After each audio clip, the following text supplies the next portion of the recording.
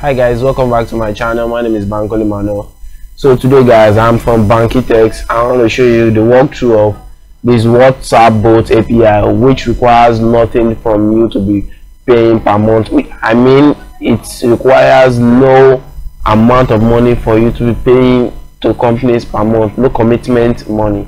Now this is not the installation guide this is just the basic overview of the whole software. So the index page is the is the um is the settings which means you can set the name of your software.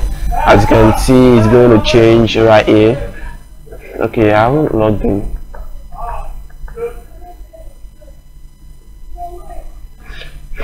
Okay so the name changed. Let's change back to Banky Techs yeah so it's already changed it changed to Banky Techs and then you can set the endpoint URL here.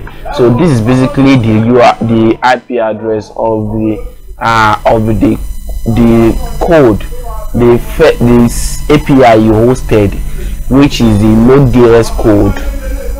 So this is the endpoint if the end if this endpoint is not real is not going to work it's going to return an error. Please provide a good endpoint. So right now it's not going to save that. It's going to revert back to our normal endpoint. And this is the default reply which you have the ability to switch on and off which means if you don't want people to if you don't want your bot to reply anything when the question doesn't match your whole keywords is going to reply with this template. And when you on it back it's going to bring the template out.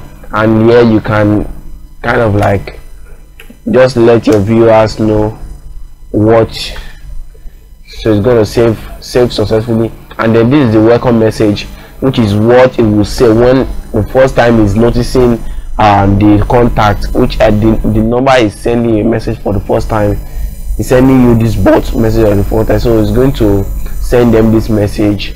And then that's it. you can switch off your bot. So when people message is not going to reply at all and you can switch it on back.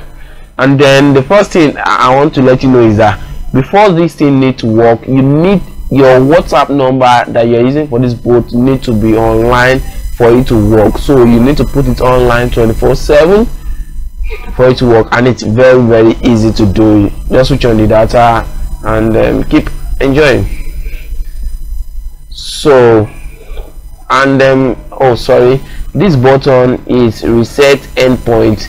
This is usually i do usually suggest you do this every single time you move your software to another place so to be able to get all these keywords. So just press it. Once you move this software to another url just press this and then it's going to work. Your website will work successfully and then yeah. So it's going to set these endpoints and be working fine. And again let's go to the second one which is auto replies. These are the replies you can set. As you can see I have so many replies here. Like a few of them not really plenty.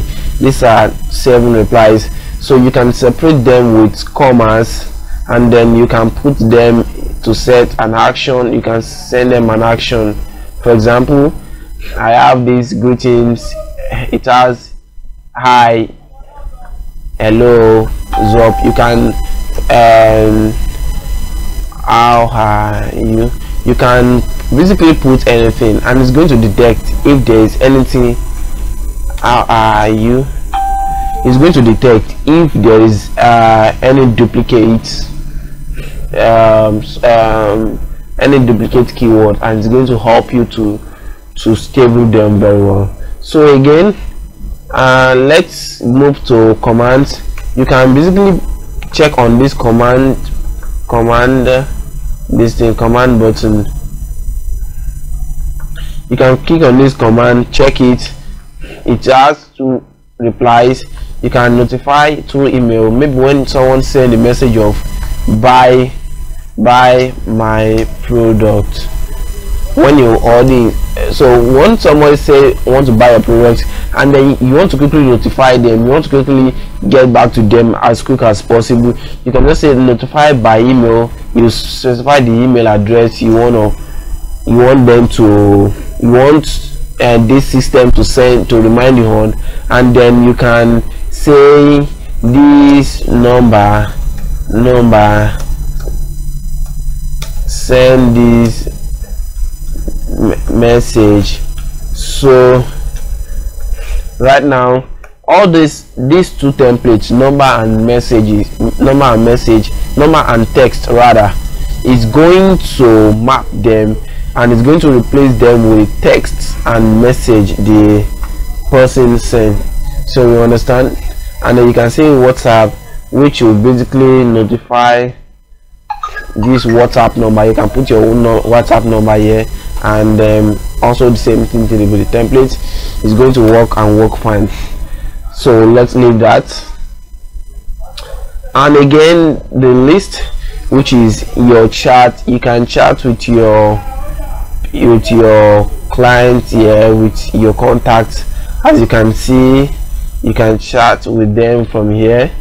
You can set up your boat from here. We, are, we have no messages with then every messages that you've gotten from people you are going to see them here. And uh, as you can see these messages are here.